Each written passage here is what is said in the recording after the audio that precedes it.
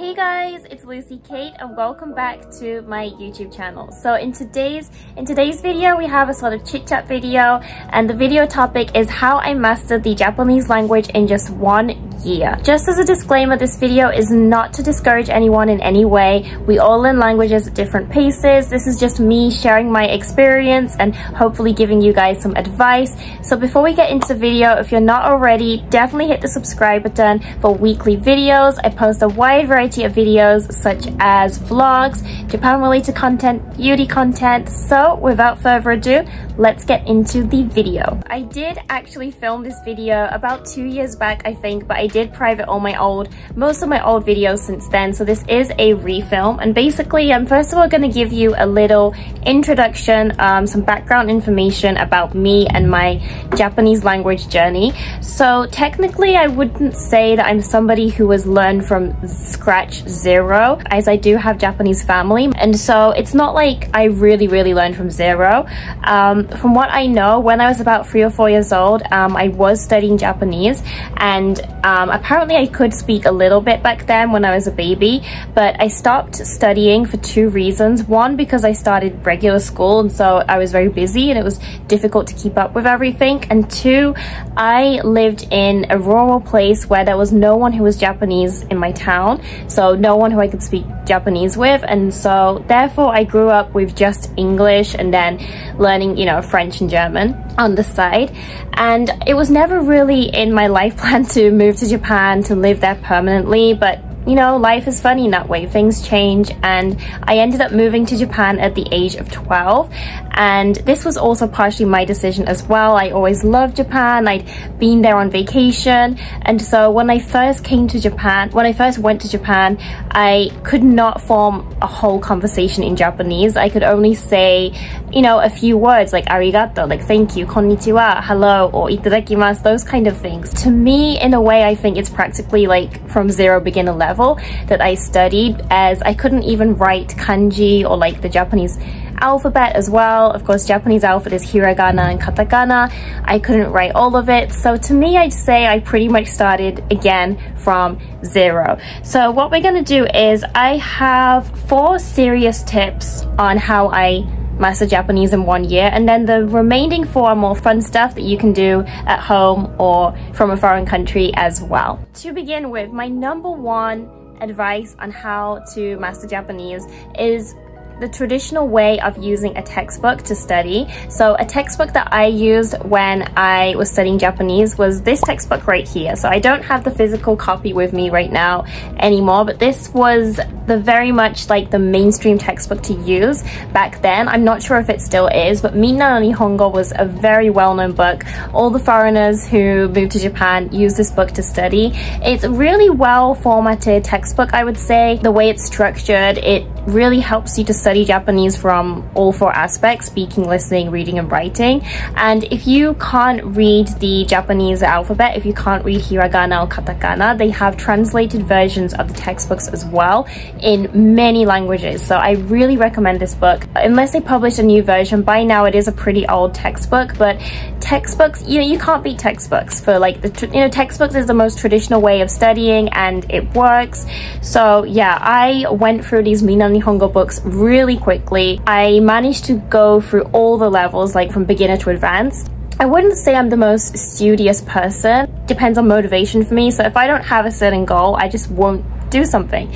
But when it came to me, you know, wanting to study Japanese, I really wanted to achieve this goal because I didn't want to be the only one who couldn't understand what everyone was saying. And so um, I was really determined to master the language, especially moving there at such a young age and wanting to make friends as a child. It was a really serious goal that I had and that's why I studied that with that textbook every day. And you know it's the traditional way of studying but I really think that it's effective and it's a really really helpful book. Yeah I wish I had the copy with me now to like show you but it's a it's a book that I really recommend. So if I can find a link to the books or something I'll try and link it down below. The second way I studied Japanese was writing. When I was studying Japanese that was was still when we were kind of transitioning from flip phones to iPhones. So we would still handwrite a lot, you know, in class. Um, I'm not sure what it's like in schools nowadays, but I do know that many students carry tablets and use computers for school. But to me personally, I think nothing beats handwriting. That's why nowadays I forget kanji if I'm not writing it because I'm just, you know, selecting a kanji off a keyboard. Like it's really different choosing kanji when typing on a keyboard and actually writing it by your hand. And I really feel that writing triggers a part of your brain and helps you remember the kanji and especially for Japanese you know I think Japanese is a very unique language because you don't just have one alphabet like English like A to Z you have hiragana katakana kanji and even romaji which is technically English alphabet so if you don't write the kanji down it's gonna be difficult to physically remember everything that's why back when I was studying Japanese, I would do as much writing as possible. I mean, this is because I also love writing myself, but um, for example, the Minna Nihongo textbook, I would write down the sentences, like the questions and the answers fully in a notebook just so I could practice writing Japanese words and characters so I could remember them. So for example, if you have like a workbook and you do multiple choice answers, it's good to choose, you know, do multiple choice quizzes to boost your language level, but choosing A, B, or C, D isn't going to help you remember the vocabulary. That's why even if I had like a multiple choice quiz, I would write all the answers, all the questions down just to jog, just to put it in my memory as much as possible. This advice I think is especially important for our current generation where we rely on like computers and technology so much, but nothing beats handwriting. And then the third advice that I have is speaking. So as writing, improves your memory for kanji, for being able to read and write kanji. Um, speaking is needed for us to be able to express ourselves in that language. Even though I do believe in the traditional textbook method, the writing method, that's good for inputting stuff, you know, inputting more vocabulary into your knowledge. But in order to be able to output, in order to be able to express the words that you've known, you need speaking. I spoke to many people. I tried to make lots of friends, even though I'm such an introvert. To be honest, if I was thrown into that situation now, I probably wouldn't have been able to be as confident and try to speak in Japanese. I would have been more embarrassed and shy. But I do think that a positive thing of moving at such a young age, at 12 years old, is you still have that child curiosity inside of you, I guess. You don't feel as shy. And so I spoke to many people. Some people were very patient with me and really helped me learn Japanese. Other people were not so nice and that can be another story for another day. But speak as much as possible. And even if you're not living in Japan, um, there are many ways that you can practice speaking Japanese nowadays.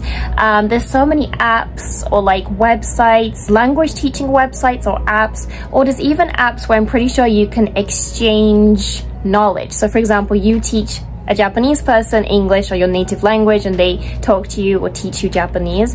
And you know, even social media, um, as long as you use it in a safe way, um, social media is a great way to meet people, um, to speak Japanese with them. Maybe you can find some local communities where you live.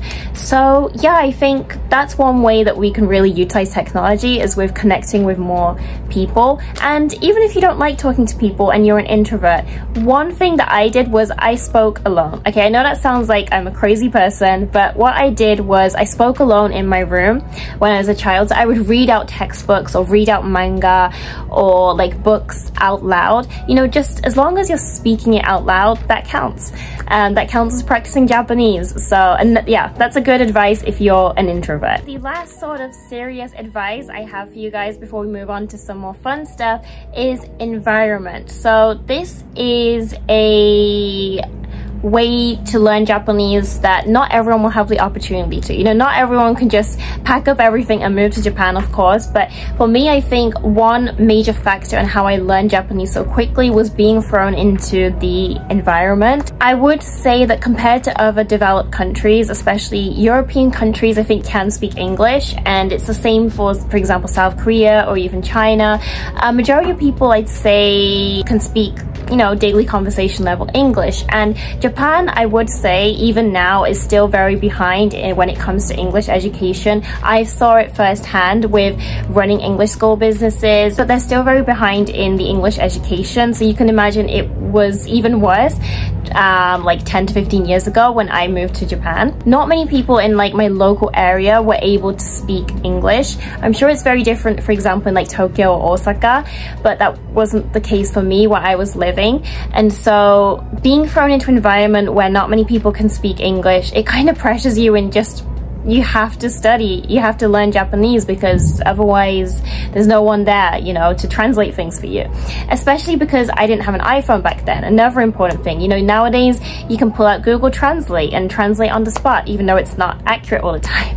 So yeah, I did have my mom, you know, she speaks English and Japanese and so she would translate on the spot for me, but she, she wasn't going to be there for me all the time. Of course, I had school and although I went to an international school in Japan, um, not everyone came from an English speaking country. We had people that um, were from different countries. We had Japanese students who had lived in different countries so not everyone lived in America or England so therefore I had to you know learn Japanese as fast as possible so I could communicate with everyone so I could understand the classes because the majority of the classes were conducted in Japanese for my school. Of course I had the school factor where I had to study as fast as possible. The second factor was my career. So I've talked about this in many videos but I modeled in Japan since the age of 12 to 13 and when I first started modeling I could hardly speak any Japanese. And so I guess modeling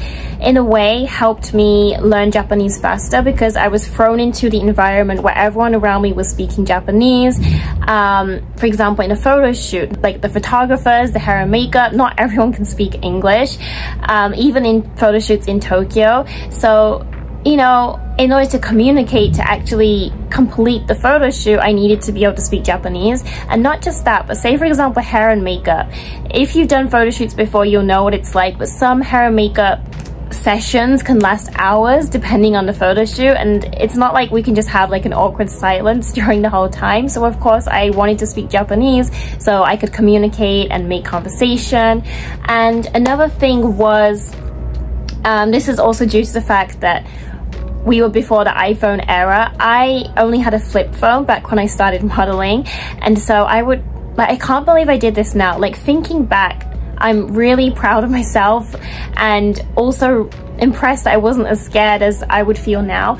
I traveled all around Japan to do photo shoots. I traveled to Osaka, Tokyo, major cities, rural places sometimes alone at like the age of 13 or 14, not being able to speak Japanese completely, not being able to read all the kanji and like, I'd have a map with me. I wrote the train times in a notepad because of course I didn't have an app to look up the train times. So it was really scary, but I guess because I was thrown into that environment where I had to, you know, pull through, otherwise I'd literally get lost. Um, I feel that those kind of pressure points, they're both good and bad, um, it did help me to learn Japanese quicker. But yeah, thinking back now, I can't believe that I got onto like the Shinkansen, like the bullet train, just traveled alone by myself for hours. Um, I do think that it's due to the fact that I was in Japan, I was able to do this. I mean, if this was, for example, the US, definitely would not be safe to do that. So yeah, I really think that um, environment is a major factor on how I managed to learn Japanese so quickly. Those are kind of like my serious tips, I guess, like the main studying related pieces of advice or reasons that I learned Japanese so quickly. And the next four tips I have are more to do with hobbies or like fun ways that I study Japanese because one thing that I really strongly believe in is when you're studying something not just a language. The major key is to enjoy it. If you're not enjoying something, you're bound to quit. Well, depending on your personality, you might have more of a tolerance, but especially for me, I'm the type of person to just completely throw things off if I'm not enjoying it. I need to be enjoying the process. That's why even this YouTube journey, like because I'm enjoying making these videos, I've continued for so long and finally starting to see growth. So next, I just want to talk about four ways, fun ways that I studied Japanese. So the first fun way that I studied Japanese was playing the DS. So this is really where you can tell my the generation that I'm from. I guess nowadays it would be more of, you know, Nintendo Switch or iPhone like app games. But for me um, I loved playing on the DS I went through all the DS stages up until the 3DS and the two main games that I used was Nintendogs and Animal Crossing. Nintendogs and Animal Crossing I had both prior played in English. So I really feel that not just games but when it comes to books and TV shows as well if you've already read or watched that media in your native language, it's easier to understand and study when you study it in a second language, a foreign language. And so those are both games I played in English before. Animal Crossing was really fun, I think, to play because it's kind of like you're talking with the animal residents. So it's kind of like daily conversation in Japanese. And they were just really fun, cute games to play. I was glued to my DS as a child and it was a really fun way for me to get used to Japanese. So yeah, that is um, one vivid memory I have, me and my DS. And the second um, fun way I studied Japanese in that first year was reading manga. And I do want to point out that I do not read the typical mangas. I didn't back then and I don't now. So for example, like, I don't know, One Piece or something, that's a really famous Japanese manga. I'm not really into action manga or anime so I guess the number one anime now is like Demon Slayer and then there's Shingeki no Kyojin. I don't know the English name, like Giant something. I'm not really into those to be honest. I've tried getting into them. I'm not into that part of the anime slash manga culture. I'm very much into the kawaii culture of Japan, like shoujo manga, like cutesy things. So yeah, you won't be seeing any of like the mainstream recommendations from me. I vividly remember reading Doraemon. Um, I think I, I had this like Doraemon manga that was in English and I'm pretty sure that the book was meant to be for Japanese people who were studying English but instead I used it to study Japanese because it was like it was in English and Japanese, I think. So yeah, Doraemon is a really heartwarming manga to read, heartwarming anime to watch as well, which I'll talk about in a second. So one manga I vividly remember really enjoying as a child, the and I'll put up the title here, it was basically a compilation of short manga stories about dogs. So I was very much a dog lover since I was a child. I had a really adorable, lovable Labrador Retriever when I was younger, and of course now I'm a Frenchie mom, but basically it was was all heartwarming stories about the connection of a dog and their owner. And it included these sort of 10 commandments of owning a dog. And it just really made me emotional reading it. Even now when I look back on it it makes me so emotional. It's a really heartwarming story. This manga I really enjoyed reading. And I didn't really read much books because books are definitely more difficult to read especially in Japanese. But one book I enjoyed reading was I was Hachi um, of course, there's the Hachi statue in Shibuya, which I went to see and I took a picture of. But those sort of heartwarming stories I really enjoyed. So I really recommend reading books or manga or watching TV about things you're interested in or things that you have prior knowledge of. That leads us to the next um, way that I studied Japanese and that is anime. I think anime is one of the most popular ways to learn Japanese or even so the probably one of the number one reasons why people become interested in Japan and its culture is from anime. And again, as I mentioned during the manga section, I don't really watch the mainstream anime that is popular. I'm more into like cutesy character stuff. For example, anime that I watched as a child was Anpanman. Anpanman is such a classic. I think even now I'd enjoy watching it. Um, I loved watching Tamagotchi, um, Doraemon I just mentioned to you guys. There's also another really good heartwarming sort of family anime series which is called Chibi Maruko. I even went to the Chibi Maruko theme park, which they have in Japan. And I also love Disney stuff and Sailor Moon as well. Sailor Moon is definitely a classic yeah, I think anime is a very fun way to study Japanese, but one thing I'd like to point out is you're not going to be able to learn full-on daily conversation just from anime. Personally, I think that, you know, the conversations they have in anime, depending on the show you're watching, they're not the sort of conversations you have in everyday life. Like the way they speak is very different to basic, you know, regular Japanese conversations. I think that that is one thing to know if you're studying using anime. Maybe don't just rely on anime, but use other uh, medias as well to study. The last fun way that I studied Japanese in my first year was TV. To be honest, I don't really watch many Japanese drama shows simply because I'm very into the long form content that we have in Western dramas where we have like many, many seasons and they're long lasting series. In Japan, there does tend to be a pattern of TV dramas only lasting for one season and they're like 8 to 10 episodes and then they're finished. Whereas I really like to be committed to like one show and binge watch it. But however one show that I was obsessed with in the first year I came to Japan was Hana Yori Dango so in English this is called Boys Over Flowers. This was a very popular anime slash it's originally a manga series back then. Um, they even have Taiwanese versions and Korean versions but the Japanese version is the best. I highly recommend you watch it if you're into love stories, if you're into Western dramas like Gossip Girl. Um, oh my gosh, I was so obsessed with that show. I just did a rewatch last year and I was still so obsessed with it. Um, I really wish they had more stuff like this. I mean, if you guys know anything, definitely let me know. Yeah, when I first watched Hana Yori Dango, I couldn't understand it at all. So I watched it with English subtitles. And then gradually, as I rewatched it again and again, I was able to move on to Japanese subtitles. And I was fully able to understand it.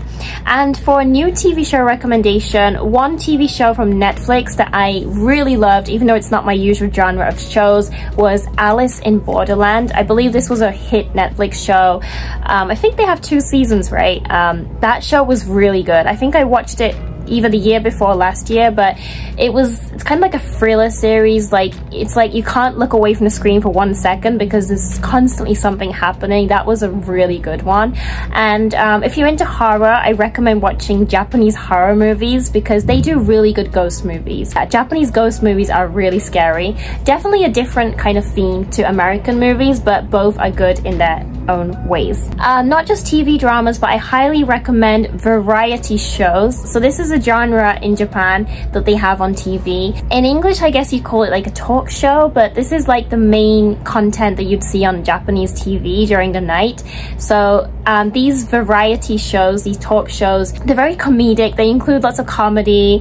And uh, one interesting point is Japanese TV always has colorful subtitles on the screen. I think this is to be inclusive for all generations. So people that can't hear can watch as well. But these colorful subtitles really help if you're studying Japanese because then you can read along what they're saying. So one show I like is Getsuyo Kara Yofukashi. This is a really funny show that I enjoy watching. Lots of Japanese comedy and humor in there. But yeah, variety shows are a category I recommend. If you want to know more about what kind of shows, like those kind of talk shows I recommend, I, I definitely love to do like separate videos in the future talking more in depth about them. That was just a kind of like brief explanation on how I mastered Japanese in one year. I'm really proud of the fact that I'm bilingual. I do admit that when I was younger, um, before I moved to Japan, I didn't really want to speak Japanese. I, I guess I, I just wanted to fit in and I didn't really show that part of culture that I had in me but now as a 25 year old I'm really proud of the fact that I'm bilingual that you know I lived in Japan. I lived in Japan for just over 10 years and it was such an amazing experience. You know I spent my teenage years there and it will always hold a special place in my heart. I would say that I'm fully bilingual but if I was if I were to have to choose a language it would be English. Um, English is still very much my stronger language.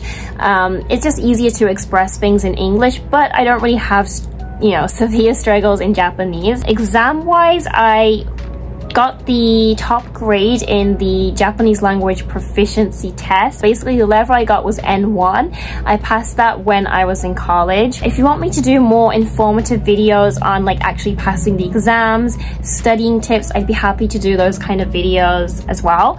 And when it comes to pronunciation, uh, one interesting thing on my Japanese language journey is I guess because I I spoke Japanese as a baby or it could be to the fact that I moved when I was 12 because you know up to 12 is like the key prime age where you can learn languages and gets harder the older you get, but nothing's impossible.